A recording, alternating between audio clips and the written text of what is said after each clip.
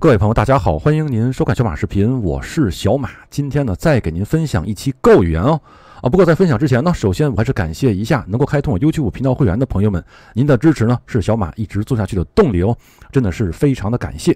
好，那咱们开始今天的主题吧。什么内容？大家请看我的标题，for 循环。不管哪种语言里面都有 for 循环构言，自不例外。马上学习哦。呃，首先看一下今天咱们的知识点，构语言中不一样的 for 循环哪不一样？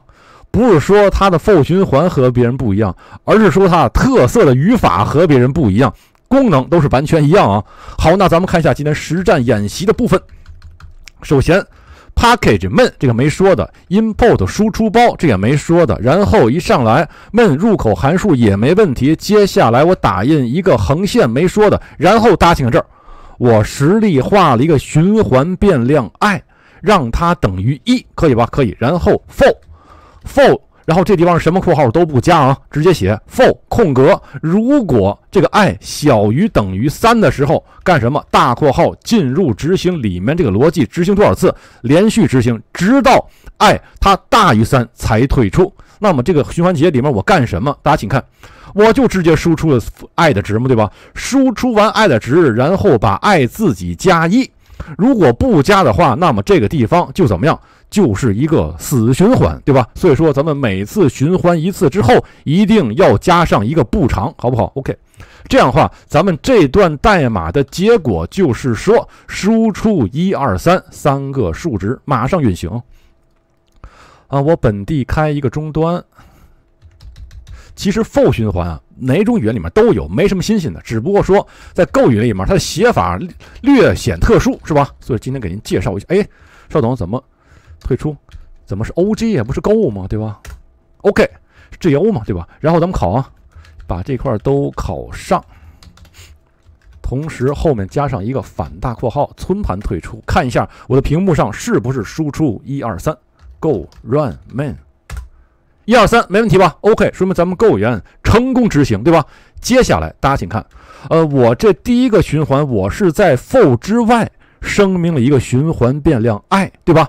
接下来咱不了，咱们就在 for 语法里面直接写上 i，然后呢复复上写上 j，附上一个值让它等于一，同时 j 如果小于等于五的前提下就运行，然后每次 j 加加，对吧？省去了赋值初始赋值，省去了判断，省去了步长加一，都在一行里面写出来，对吧？有朋友看起来觉得非常的别扭，哪儿别扭？你为什么不在这儿给我加上一个括号，对吧？你加上括号，看起来多舒服。对，您加括号，它不不就不是 Go 语言了吗？对不对？它不就是 C 语言了吗？对吧？您它不就是 Java 了吗？所以说，Go 语言的设计者他就是这么的特色啊！你们都认为加括号好看，我偏不加，对吧？这是 Go 语言的设计者他的怎么说独特的地方？马上运行一下，出来吧，一二三四五，没有问题啊！这个地方循环了五次，那有朋友说我不。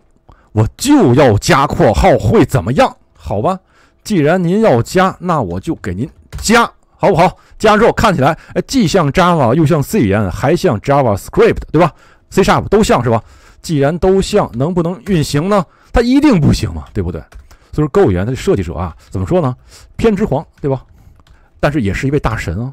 说偏执狂，大神都是偏执狂，偏执狂绝对不是一个这个贬义词啊。某种情况下，它是褒义词，好不好？比如说我现在这种情况，它就是个褒义词。好，接下来大家请看，for 循环还可以什么条件都不写，直接 for 一个大括号，这是说什么意思？这个就相当于咱们其他语言中的 very true，very true，对吧？永远的死循环，它永远不退出。这个地方我打印出来什么？怒斥一击，对吧？如果下面大家请看，如果我不加这个 break，它会死循环这段代码，永远的怒斥一击，好不好？咱们试一下啊。我先把它拷贝过来，咱们先怒吃一击，然后咱们再把这个 break 去掉，再试试啊。好，放到下面。OK，存盘退出，Ctrl L 清屏运行，怒吃一击没问题对吧？好，然后我把这个 break 去掉，看它吃几击。OK，存盘退出，注意看啊，吃起没完，赶紧停掉，对吧？所以说。这个地方咱必须这个 break 加上。是这样，呃，您可以加 break，也可以根据您的条件，比如说您做一个不长判断，呃，让它比如说这个循环三次、五次之后再退出，这都是可以的，对吧？OK，这样的话呢，还是怒斥一级，对吧？OK，好。那么接下来再给您讲一下，怎么说呢？在循环中，咱们加上一个判断。这个地方我给您说了一个循环退出 break，对吧？其实还有另外一个关键字叫做 continue。是什么意思？大家请看啊，呃，如果 n 等于零就进来，对吧？如果小于等于十就直接循环，每次 n 加加这都没问题。按理说是循环十一次，为什么？n 等于零，这小于等于十，所以循环十一次嘛，对吧？OK，那判断如果 n 对二取于等于零，也就是偶数的前提下，比如说零、二、四、六、八、十，对吧？这个的前提下，它会 continue 直接到这个地方进行 n 加加，不再走下面的循环。好不好？如果它取于不等于零的话，那么直接输出这个值，也就是说，我这个代码逻辑输出一到零到十里面的所有的奇数，试一下啊，看看是不是输出奇数，不是吃鸡的鸡啊，是奇数的奇啊。好，试一下啊，Go，存盘退出，Go，大家请看，一三五七九，这个是不是？零到十里面的所有的基数都都对上了，对吧？比如说，咱们咱们可以改嘛。比如说，我这个地方如果是三的倍数，则循环，对吧？否则打印，好不好？看下这个，这样的话，三的倍数都不会被输出。你看，像这个六啊、九啊什么的都没有嘛，对吧？三的倍数都不会被输出。OK，这就是 Go 语言中简单的循环的逻辑啊。非常的简单，对吧？希望您呢能够掌握，便于您今后呢做更复杂的业务的编程，好不好？OK，以上呢就今天我给您分享的所有的内容了。我的代码呢都会放到我的 GitHub 上去，您呢可以下载参照。好，那这个视频就给您分享到这里吧，谢谢您的观看。喜欢我视频的朋友呢，希望您呢能够订阅一下我的频道，然后呢点赞并转发给您的朋友，拜托大家。